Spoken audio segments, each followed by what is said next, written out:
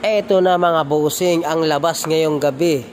October 12, 2023, 9pm na bula. Ayan po mga bossing ang resulta.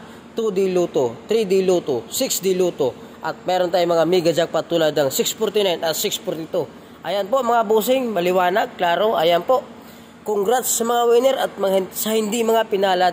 Bukas ulit, habol tayo. Ayan. So good luck mga bossing. Maraming salamat at magandang gabi sa atin lahat. Maraming salamat po.